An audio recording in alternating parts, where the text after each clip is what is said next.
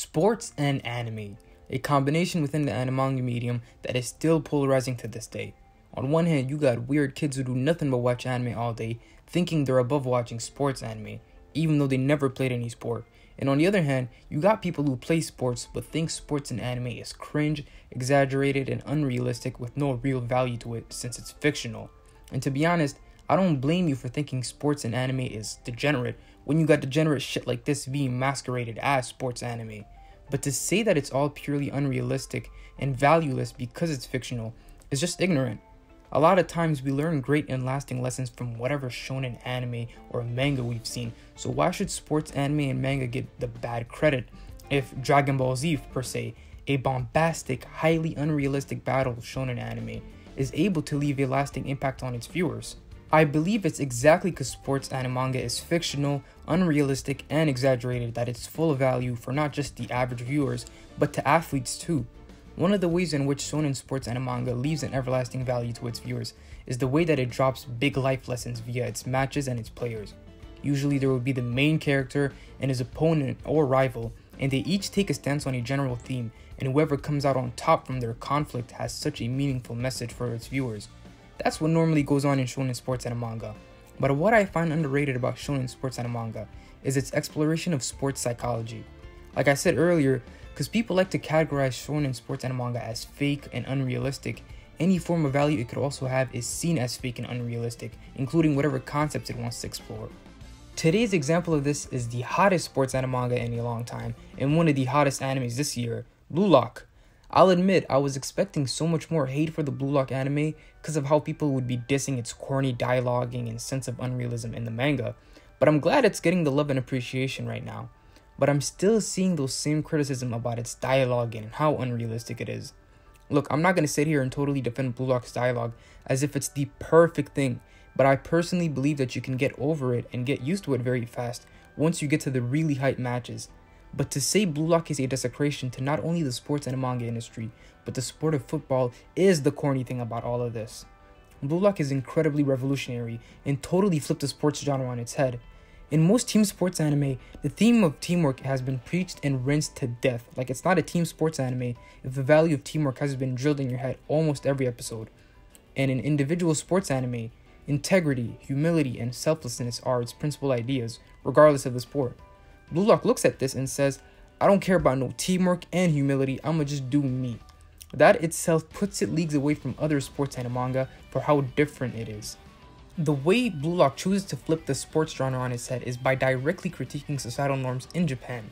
Blue Lock as a whole is a social critique on Japan's sports culture that can also be found within its work culture. Don't be selfish, one for all, no one is above the team. All of these ideas are repeated in the workforce of Japan, which leaves people dissatisfied and sometimes depressed because they're not chasing their ideal goals. The same can be said about Japan's sports culture.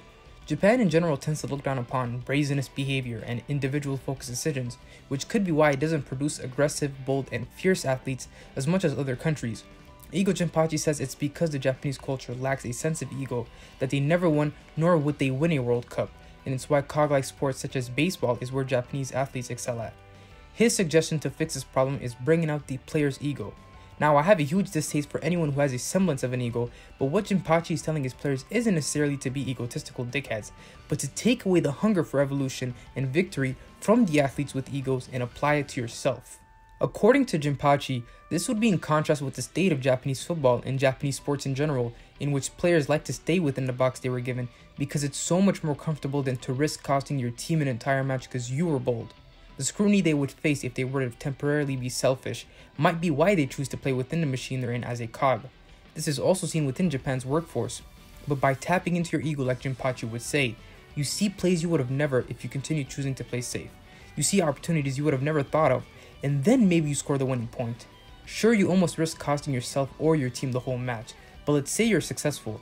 The high, the exhilaration, and the satisfaction of winning you feel is incomparable than to just winning by playing safe. And all of that was possible because you chose to act out independently and believe in yourself. Having faith in yourself and desiring victory above all else are key ingredients for you to progress as an athlete. And that is what Blue Lock preaches. There's some one liners about forgetting about teamwork and being self centered that I don't agree with, but there are some good takeaways from Ego Jinpachi's philosophy. And the way the concept of ego and the thrill it can give you is shown in Blue Lock is so compelling.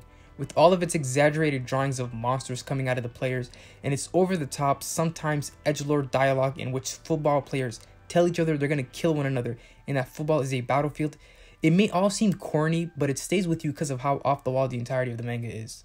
Another sports psychology Blue Lock explores is flow state, a highly addictive yet hard to achieve state of mind.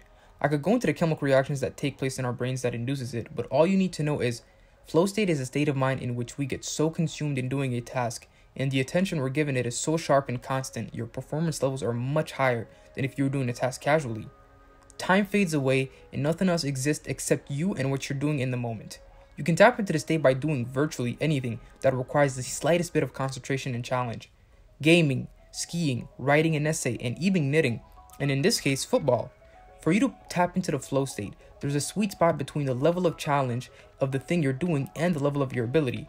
If both the difficulty of the challenge and your ability to do the challenge are around the same level, you will enter the flow state. But if the difficulty of the challenge is way above your skill level, you will be too anxious to be productive and confident, which will prevent you from entering the flow state. And if your skill level is too high and the difficulty of the challenge is too low, you'll be too bored and you're going to want to quit doing the challenge because it's not fun enough.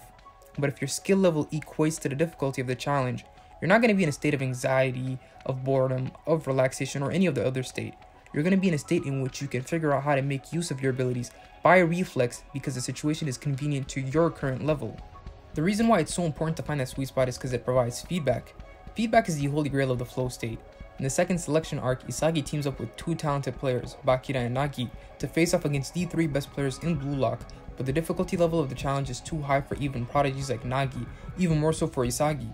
So he and Nagi move on after not being selected and find themselves in another match. Within this match, the difficulty level of the challenge is decently high because of Baro, another prodigy, but it's balanced out by a mediocre player named Asahi.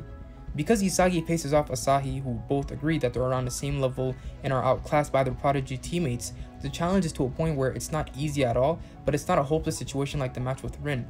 Isagi applies to himself and does what he calls devouring, which means to overcome and adapt yourself in accordance to your opponents to surpass them. Only way he could devour Asahi is by giving himself feedback on what skills he needs against his current challenge, and so he becomes even more skillful, and that is how he and Nagi won that match and selected Baro as their third player. The match was hard enough to pose a challenge, but easy enough to learn and grow from the moment by moment feedback. In the match between Isagi, Nagi, and Baro versus Chigiri, Kunigami, and Reo, Isagi struggles even more due to a combination of a non cooperative teammate and a really strong opponent.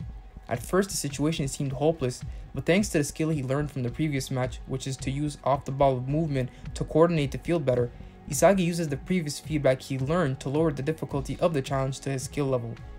The factor known as luck is no mere coincidence. It only comes to those who act from a deep desire.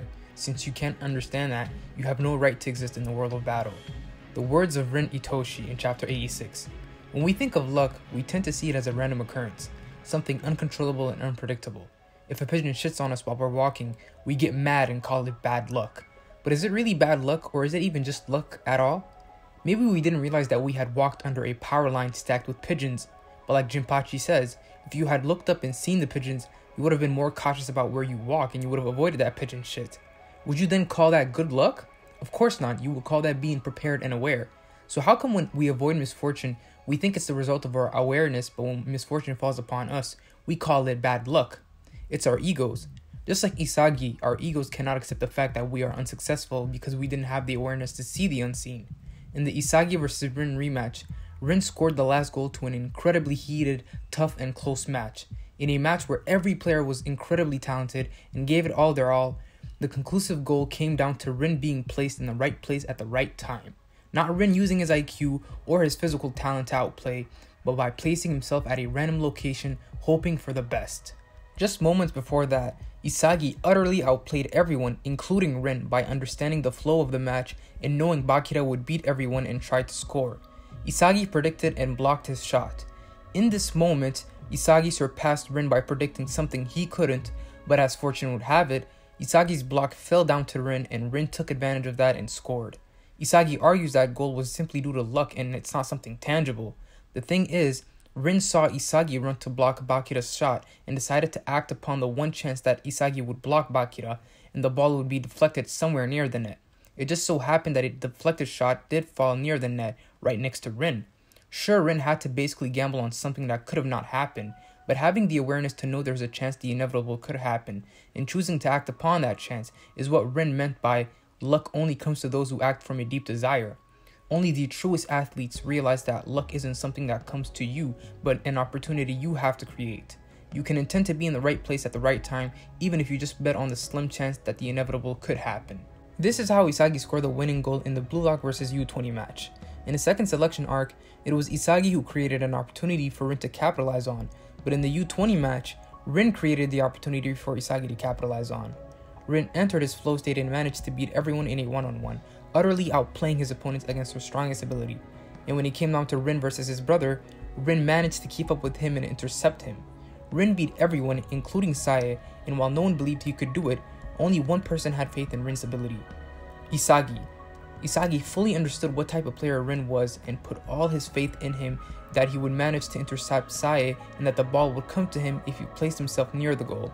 So it all came down to luck at the end of the day, but quite clearly, this was Isagi capitalizing and believing in an unseen opportunity because he had enough awareness to realize not only Rin's capabilities, but also how he lost to Rin due to Rin bringing luck to his side in their second match. Isagi replicated the scenario and went on to be the hero of Blue Lock. To quote someone, there's no such thing as luck. Luck is an excuse used by people who weren't good enough to see hidden opportunities and act upon those hidden opportunities. All in all, I think Blue Lock isn't the manga people expect it to be. I remember getting back into Blue Lock thinking it was just gonna be a lot of corny one liners, some badass scenes, and some raw shit going on.